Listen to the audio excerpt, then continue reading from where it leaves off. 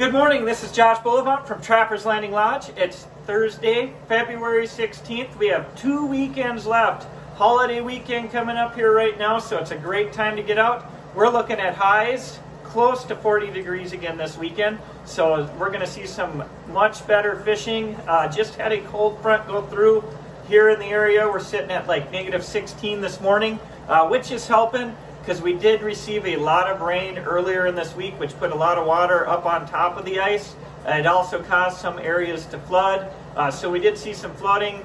Uh, we're seeing that snow get very compacted on the lake as well. So guys, when you're up here, if you decide to travel off-road, we still won't be able to come and get you because you're probably going to get stuck in one of the slush pockets that are out there. So highly recommend if you decide to four-wheel off the road, get to those areas off the road, make sure you got multiple vehicles with chains, uh, with ropes, shovels, jacks, extra wood, stuff to get you up out of those slush pockets.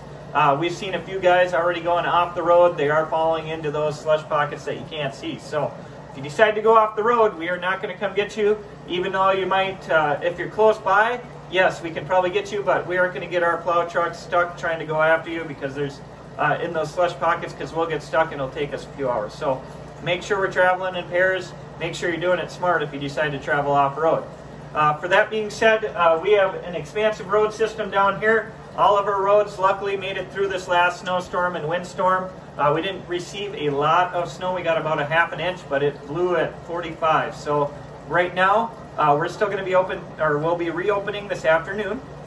We're working right now uh, up in this Pelican Island area currently right now, making some brand new cutouts up there. Uh, we made this new road last weekend, only had a few people sit on it, probably three or four, so plenty of cutouts made around there. Uh, same with over here, this west of Rogers Point. Uh, you can see this, we call this the Viper's Tooth here. Got some deep water for tullibee, eel pout, even some late season walleyes going there.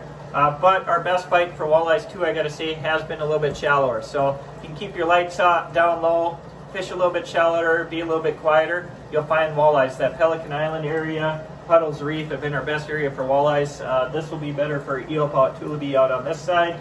Uh, we still got some great structure on the inside too. That's finding the perch. Uh, some bigger walleyes out there as well. Uh, we're currently making some spots up Puddles as, as well out there. So uh, we'll be cleaning up all day. If there's a spot that we just didn't get to yet, flag down one of the um, plow trucks. He'll be able to help you out. Uh, bring up some blocks as well because um, we are seeing some flooding. So I think it's just all that extra water on the ice. That snow got a little bit denser and is holding um, holding some of that or making it cause some flooding around. So make sure we got all of that. Uh, for you guys that did leave your ice houses up here, if you didn't have blocks underneath your jacks, we did go through and added a few of them to make sure that your jacks weren't sinking down in the ice and freezing in. So uh, we're looking forward to this weekend. We're looking forward to the holiday weekend. Uh, call ahead. we will have bait. Uh, we'll probably have fatheads, crappie minnows, uh, light pike, uh, red euro larvae, which are great for the perch, and crappies, bluegills in the area. Even the tullibees, I like to fish with those. We'll even have waxworms here as well, right up at the lodge for sale. Uh, stop by, give us a call ahead, um, make sure we still got bait. Uh, we do go through that pretty quickly. Also got off sale. Restaurant's going to be open. We got some spe great specials going on. Chef Mark and Chef Ashley have been doing a great job with their specials all season long. So uh, hopefully we get to see everybody out on the ice. We got two weekends left here uh, for walleye season, so make sure you're coming up Leech Lake, catch that trophy. We've seen a lot of big walleyes coming through the ice. So from all of us here at Trappers Landing Lodge, we hope to see you out on the ice.